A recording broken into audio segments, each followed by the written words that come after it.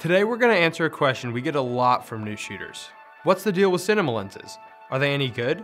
Why do they cost so much? Will they make my film look like it was shot by Roger Deakins?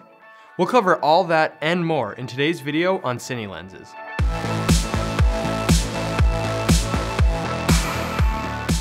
Let's start with the basics of what defines a cinema lens.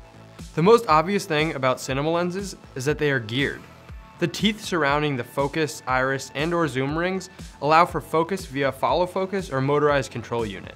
Having these teeth built into the lens makes setup much easier, and there's no need to fuss with third-party focusing rings. Looking a bit deeper into the rings on a cinema lens, you'll find a smooth operating manual focus that has a much longer throw than a still lens. In fact, most cinema lenses offer well over 200 degrees of focus range. This gives you a lot of control and precision for smooth rack focus adjustments. This, plus hard focus stops, means you'll always know when you've reached the end of your focusing range. Visually, notice that the focusing barrels are marked with the distance measurements. This tells you precisely where the lens is focused in relation to the sensor or film plane. Since operating a camera in the filmmaking world is a team effort, these markings are designed to be read from either the left or right hand side of the camera. This is in stark contrast to a still lens with their ambiguous top-mounted focusing scale. Moving rearward, there are some special features on the aperture as well. Often called an iris, these differ from still lenses because their adjustment is smooth. There are no click stops, so adjustments can be made gradually. Another feature is that cine lenses are measured in T-stops, not F-stops. Conceptually, they refer to the same thing, but T-stops differ from F-stops because they deal with a measured quantity of light. On a still lens, this means that an f2.8 may not give you the same exposure from one lens to the next. With T-stops, you know your exposure will be the same from lens to lens. Speaking of lens matching, that's another thing about Cine lenses. They are released in sets that cover a range of focal lengths. Because they are in a set, they're also designed to have a similar look and color properties to one another, which makes cutting between shots easier. Another strength is that the lenses are designed to all be the same size and shape. This makes switching out one lens for another much faster and easier on set, because you won't have to adjust your camera, follow focus, or matte box once you have it set up. Even if the physical shape isn't a perfect match, the focus, iris, and zoom controls will all be located in the same place. Finally, Cine lenses are designed with a focus on optical image quality. There are a lot of characteristics people use to judge a cinema lens. Not all of them we can cover here, but the thing to know is that on most entry-level cinema lenses, you get a lens that's derived from a still lens design that's been rehoused in a cine barrel.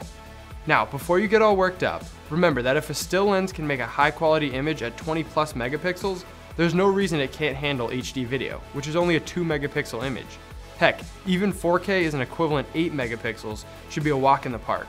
As you get into more exotic cine lenses, there are differences in image quality, but we'll have to dive more deeply into those comparisons in another video. So back to the big question. Now that we know what makes a cine lens a cine lens, are they the right tool for your next job?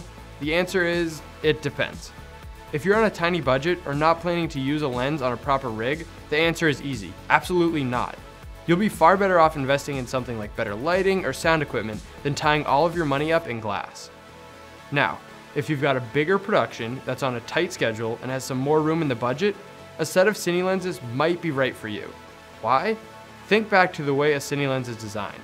Nearly all of the things that make them different have to do with making life on set faster or easier. Lens changes are quicker and require less adjustments.